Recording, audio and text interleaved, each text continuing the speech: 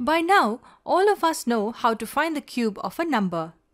So 3 when cubed gives us 27. It means 3 multiplied by 3 multiplied by 3 equals 27. So what is a cube root? Well, the cube root of 27 is 3. That's all. This is the most important concept of cube roots. The rest of the video will just focus on how cube roots are denoted and its application.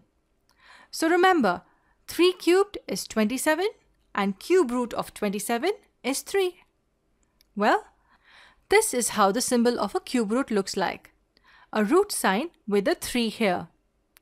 So we can say that the cube root of 27 is 3. And as we saw in the square root video, this root sign is called the radical. And the number inside it is called the radicand or the base.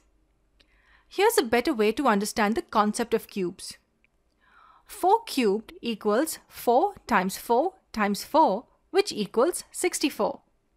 We all know this. This 3 when taken to the other side becomes cube root. Hence we can say that the cube root of 64 equals 4. Now we're on our way to understand a very interesting concept. We will try to understand this concept with just one example. We know that cube root of 64 is 4.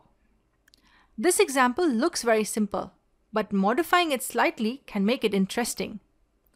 Let's play with these numbers. We can write 64 as 2 raised to 6. Hence cube root of 64 can be written as cube root of 2 raised to 6.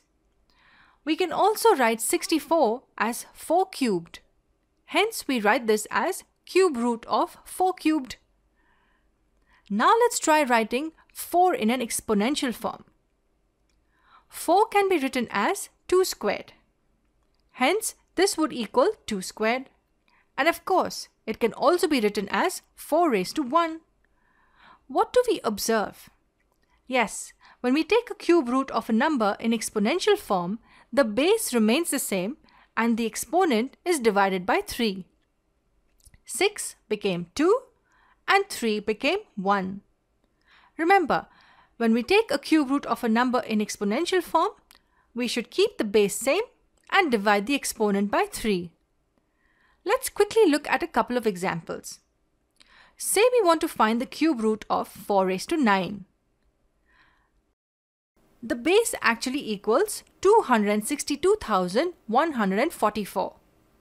Imagine finding the cube root of this big number. But using our technique, all we need to do is keep the base same and divide the exponent by 3. Here the base is 4. Hence we write a 4 here and divide 9 by 3. Hence we get the cube root of 4 raised to 9 as 4 raised to 3. Now let's try finding the cube root of 7 raised to 6. We can write it as 7 raised to 6 by 3 which equals 7 raised to 2. So remember, keep the base same and divide the exponent by 3. In the coming videos, we will see how we can calculate the cube root of large numbers which are not in exponential form.